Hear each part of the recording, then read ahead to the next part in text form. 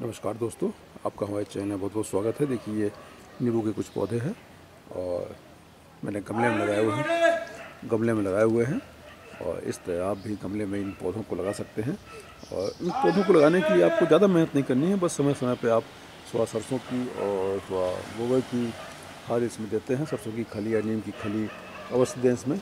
उसी से पौधा अच्छा ग्रो करता है और इससे पौधे में जान आ जाती है और जो कीड़े मकोड़े होते हैं, वो भी नहीं लग पाते पौधे में।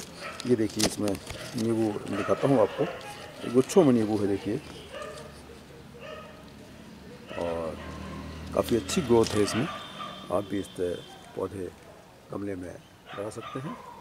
गमला ना हो तो आप आजकल पॉली बैग चल रहा है, आटे की दस किलो की या पाँच किलो की पॉलिथियाँ होती है, उसमें भी लगा सकते हैं। तो इस तरह आप नींबू का प्रोडक्शन ले सकते हैं इसमें।